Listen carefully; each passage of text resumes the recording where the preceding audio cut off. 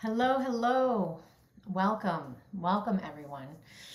I was so excited to see how many people signed up for this uh, today. There were uh, well over 120 people who signed up, and a lot of you are here. Welcome. Welcome to uh, some of our earliest investors and some of the earliest users. You know, some of you know me, some of you don't.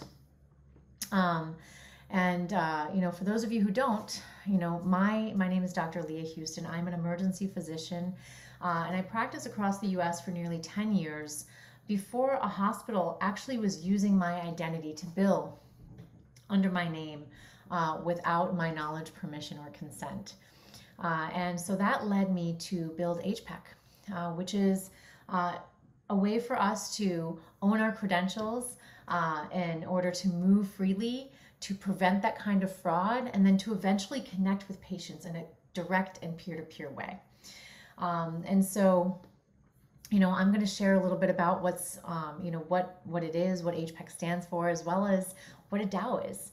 Uh, and so um, I want to again thank everybody who's who's here tonight. I know everybody's super busy, and so it's my honor that you're spending spending time with me here. And so this is the agenda you know, first, you know, we'll just intro HPEC. What is it? Who are we? And then what is decentralized identity? And then what is a DAO? What is a decentralized autonomous organization?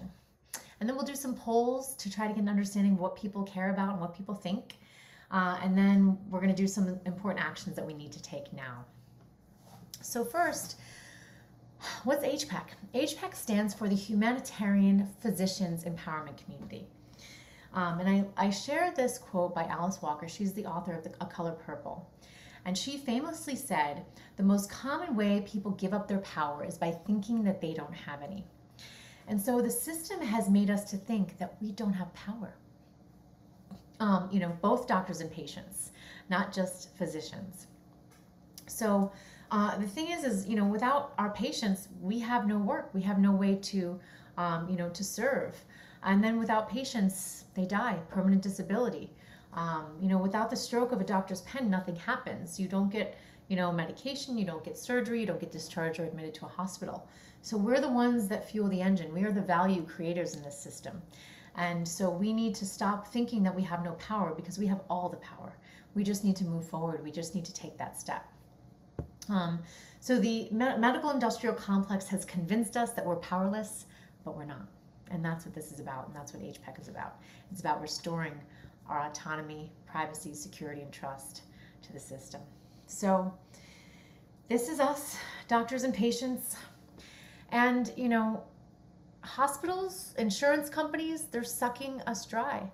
They're siphoning money off of the sacred doctor-patient relationship. They're making money off of our sick and dying patients. Uh, these third parties most of them provide a sliver of the value that they take. Uh, and they're all middlemen. And they're denying services to the patients, they're sending them surprise bills, and then they're denying payment to us when we actually do serve them. And then they're taking big fat chunks for themselves. And they're creating extreme malaligned incentives. And this is the problem that we need to fix. This is why we need that secure, direct, and private communication between doctors and patients. And so this is what, you know, it is. Thank you for that reminding reminder. Um, anyway, we didn't go that far, but um, so we have, you know, these third parties siphoning, uh, you know, money out of the pain and suffering of patients. You know, they're denying payment to doctors for their services, and they're denying, um, you know, services to patients, uh, creating, you know, prior authorizations and putting them between us. And so, you know, this is how we feel. You know, this picture shows the very problem that we're solving with, with this company, uh, with this organization, with this DAO. You know, physicians and patients are now trapped in narrow insurance networks and large vertically integrated health systems. We're being watched, we're being surveilled. Uh, you know, and so the doctor's here with the patient. And I love this picture because there's all these other people in the room, they don't even know it. You know, they're just kind of going about their business, not even realizing that they're being watched because that's what's actually happening. And so if you notice there's an old looking, you know, computer that probably has Windows 98 on it, uh, and she's not using it. She's sifting through paperwork instead. Now, why is that? You know, you and I know why as physicians. It's because that EHR is basically worthless. There's mostly junk, dirty, nonsensical data um, that we don't use or need. And so, um, you know, this is the problem that we're solving. Um, we need to get these people out of our exam room. We need to get the third parties out of our exam room. Um, you know, we we no longer want um, our relationship infringed upon, and um, you know, we want our patients' information to be private. You know, we don't want a disruption in how we're practicing medicine. And so, we as an organization, as a physician community, are choosing to do something about this. And now we have access to a new technology that can help us. And so, this technology allows for the secure, direct communication with doctors and patients. You know, initially, this app is going to be for physicians only, where we can communicate and collaborate with each other.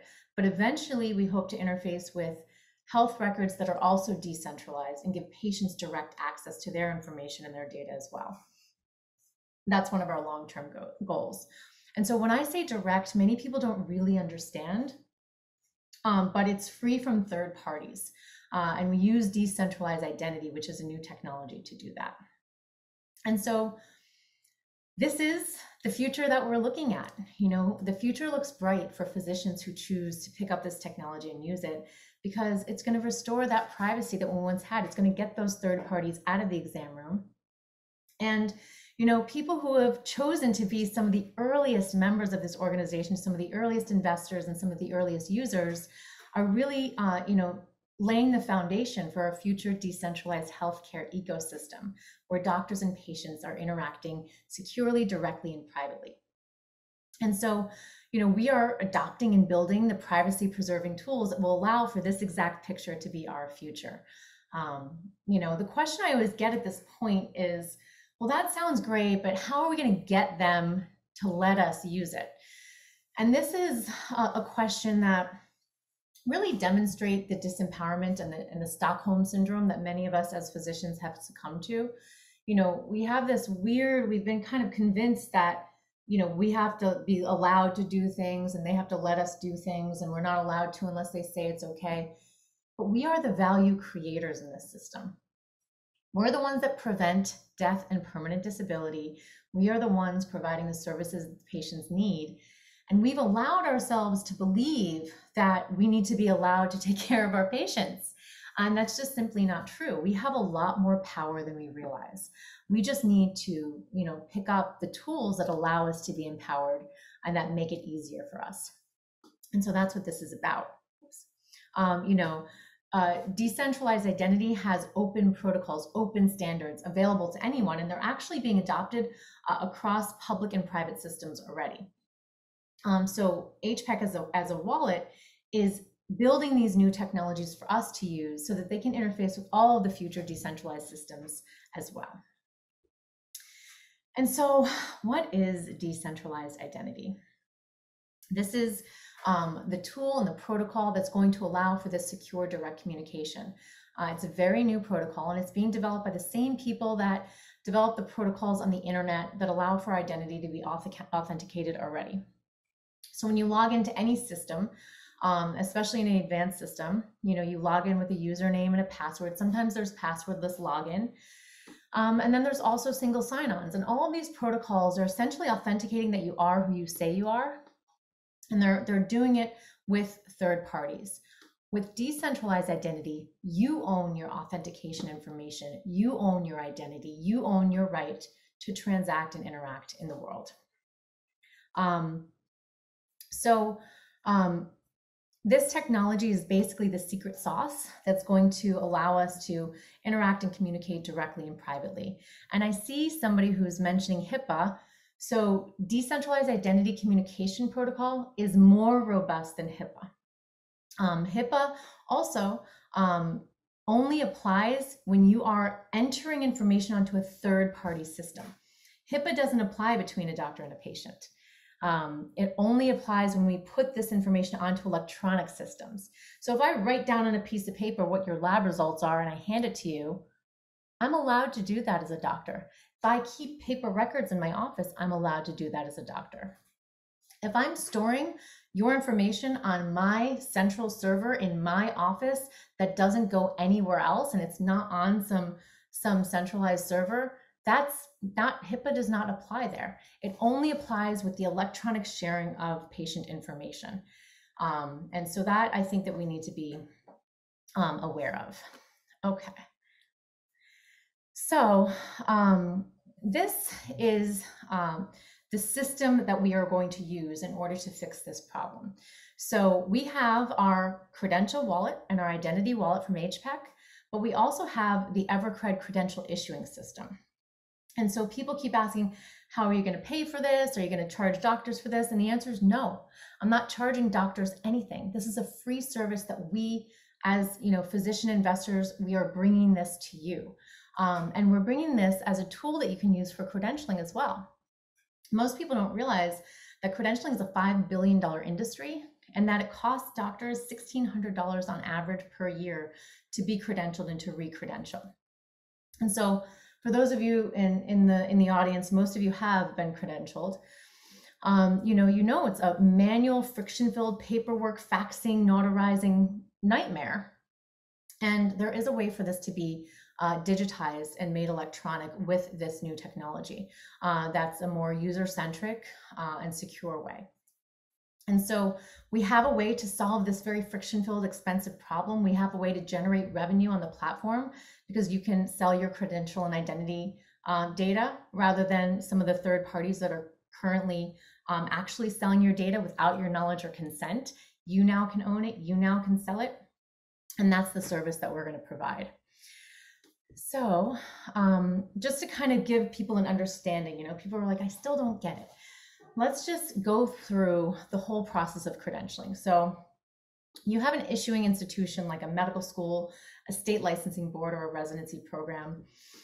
They issue you a certificate in paper form. You say, Awesome, thank you. You get a job, you present that uh, certificate to that employer. That employer then says, Thanks a lot, but we need to check and make sure that that's real.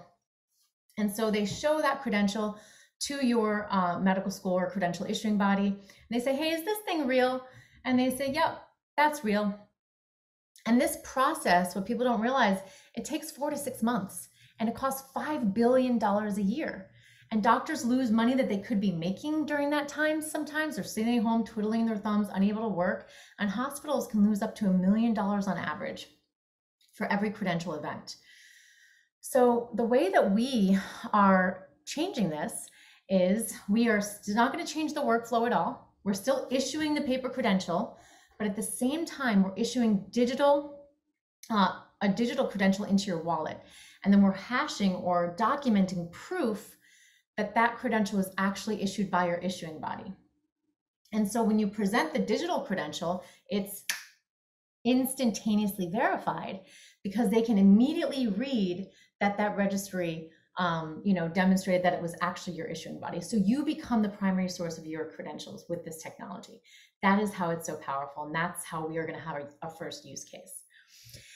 And so with that being said, um, I just want to remind everyone who does have a wallet that uh, we need to all go through account recovery. Now, I want to apologize because we were supposed to have a push notification that nudged you to do account recovery, but that actually failed with some of our earliest users. So um, if you can, when you can, go into the app and, and go through the recovery process uh, so that you can hold and store your private keys. And so I just want to give you an understanding, you know, HPEC is a decentralized application. It's called a DAP or a DApp. Um, and so uh, because of that, it means that you are in charge.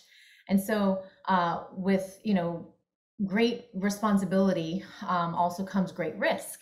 You know, if you're in charge and you own your information, you can also lose your information. So when you hold your private key in the form of a QR code, it's essentially your seed phrase that will allow us to recover your account.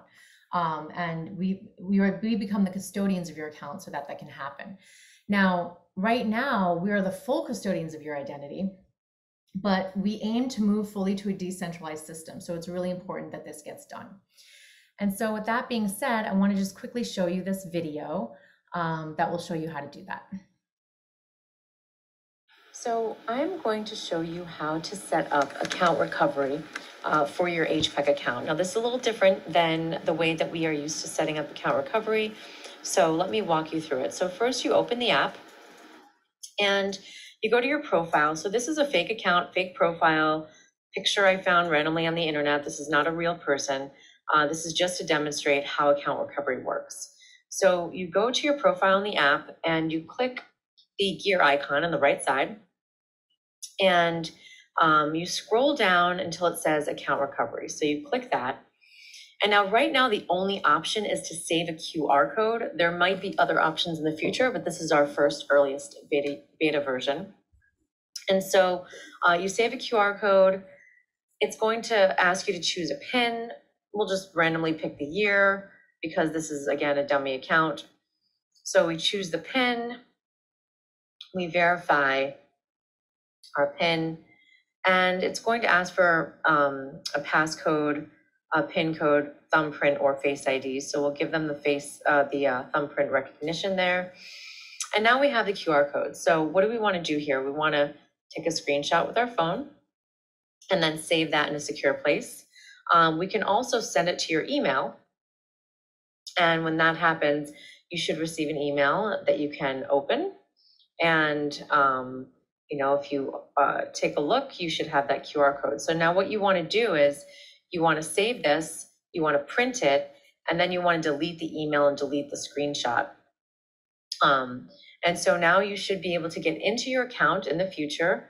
Um, if you accidentally delete your account or lose your phone, you should be able to scan that QR code and get back in.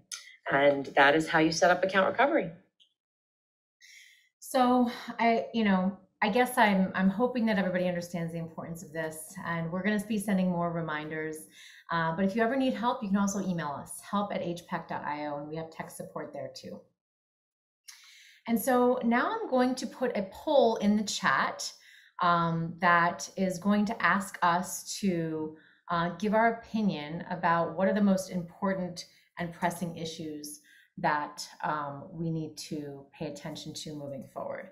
So if you open up this poll, um, awesome. I'm glad it was easy. Perfect. Um, so yes, exactly. So you want to save your QR code in a place where uh, nobody can really get it. Uh, yes, you need your PIN also with it. Um, but this is how, you know, if you lose your phone, this is how you'll get back in. And as I mentioned, you know, we can recover it, but you know, it's it's a cumbersome process. So um, let's try to get everybody uh, to get on board with that. So I'd love to have everybody take a few minutes to kind of look through these issues and choose the ones that concern you. You know, many of you might choose all of them, that's fine. Um, but I really, you know, I want an understanding of what's the most important thing. You know, we did this survey back in 2020. I want to see how um, things changed. So the poll questions are in the chat. So I'll, I'll post it there again. So just click, click uh, the link in the chat. Um, I just I just shared it one more time. So uh, let's see here. You don't see these. Uh, let's see. Hold on. Uh oh, this is why I wasn't sending it to everyone. I apologize. Okay, there we go. Does everybody see it now? Yay, okay. Sorry about that. I was accidentally sending it basically to myself. Um, but yeah, I mean, so this um, poll was taken and created by the physician community already. And there's a lot of really important things on here. Um, but I'd love to hear from you, you know, and, and later we're going to choose the things that are most important, but I just want to hear what is important. Some people don't care about some of the things on this list. If you don't care about it, don't click it. If you want to add another option, you can click the other button. Um, please do that. And so um, I'm going to give everybody a minute to do that. you guys are awesome.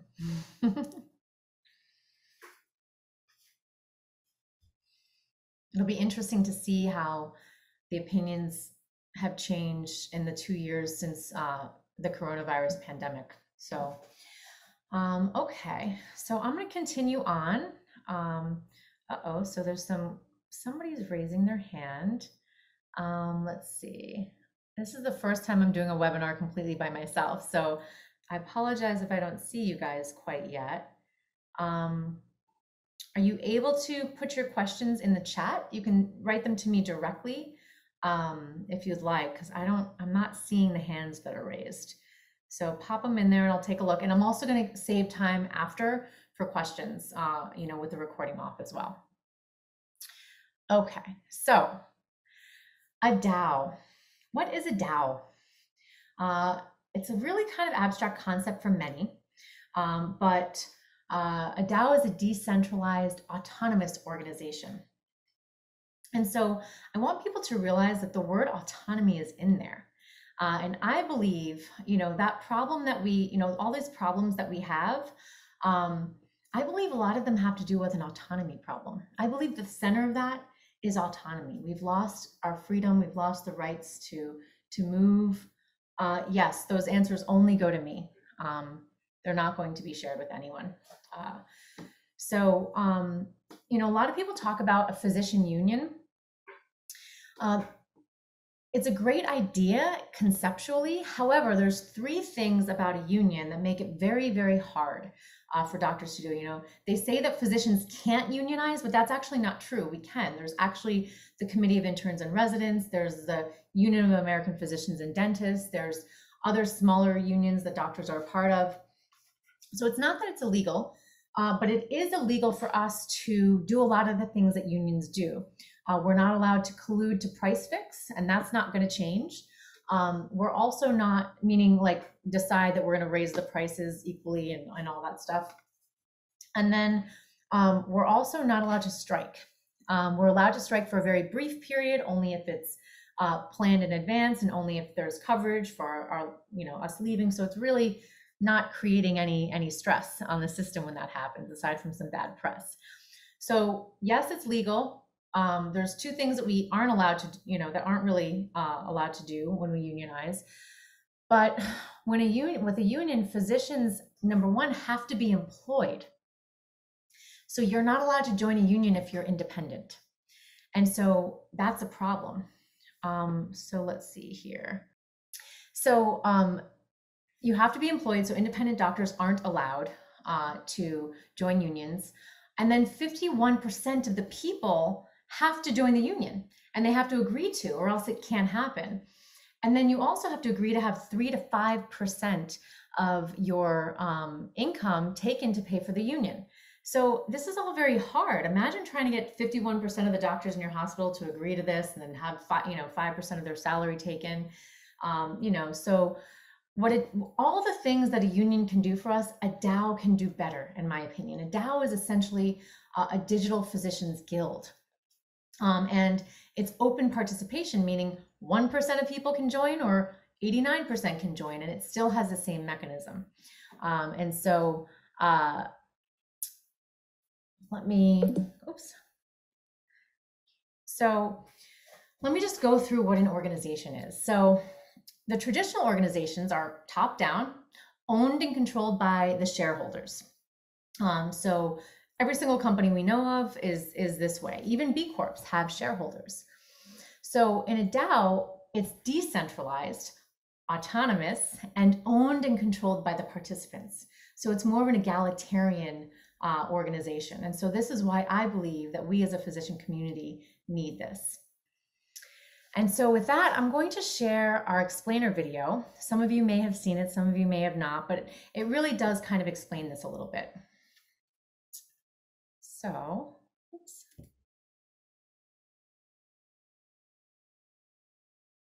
The United States healthcare system is broken. Physicians have been disempowered by managed care and have lost control over the practice of medicine. But a new secure technology has the ability to change that. This technology can distribute power away from minority stakeholders in our healthcare system in a process called decentralization. Decentralization is a community driven process where individuals on a network each have an equal stake and can collaborate towards common interests. HPEC is from the physician community for the physician community. Physicians share the common interest of liberating the doctor patient relationship from the grips of managed care, decentralizing power away from third parties who do not provide value. The problem is huge, and there hasn't been a consensus on how to address it within the community. That's partially because physicians are experts focused on their particular field, which makes it difficult for them to agree on potential solutions. HPEC solves this problem by digitally organizing the physician community around shared interests and common goals, while simultaneously allowing them to protect their own individual needs, so they can continue to protect the individual needs of their patients. The HPEC platform is designed to protect the sovereign rights of those who choose to participate in the network because the governance protocol will be self directed. Blockchain technology will ensure the data is secure, and the individual physicians on the network will ensure the network can be trusted. We can build trust without the need for hierarchy or centralized control when decisions are powered by the collective efforts of practicing physicians on the network. HPEC, unlock the future of healthcare. Sign up for our newsletter to learn more.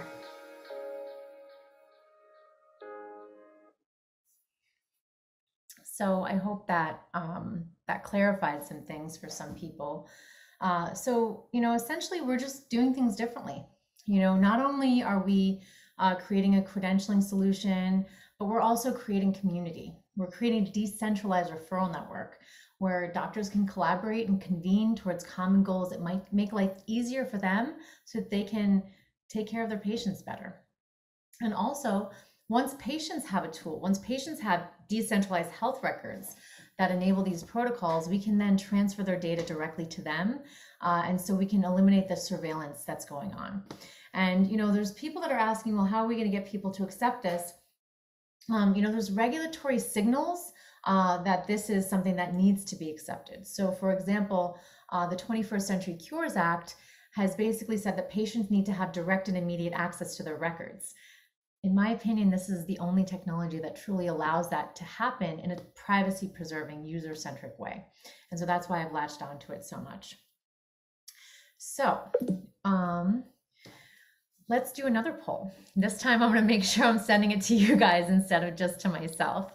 Um, so uh, this is basically the same poll, but I'm asking you to choose uh, the top three uh, things that you think are important for us to work on. Because as a DAO, we need to decide what are we going to organ, you know, organize around. Uh, and so uh, I'd love to hear people's opinions on the most pressing, most important issues of today. And so if you could take a few moments to do that. Um, and um, I'm going to share, well, maybe I'll wait. I'll wait and let you guys finish until, uh, you know, we did this poll uh, two years ago. And so, the, you know, the results were very interesting. Um, so let's see here. Give me some thumbs up in the chat when you guys are all done.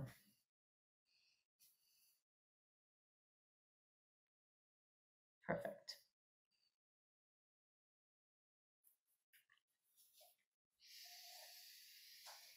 There's a lot of things on that list, a lot of things that need to be fixed. Hard to pick three, but it seems like people are. It is the same poll, but this one you're only allowed to pick three answers before you could pick as many as you wanted, uh, so that we can get an understanding of what's the most important thing, you know? Uh, perfect. Okay, so we're going to continue on. And so this is the results from 2020. We had 63 responses at that time.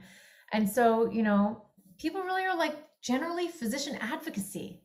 Physician advocacy is really it. And that's, you know, that's what this is about.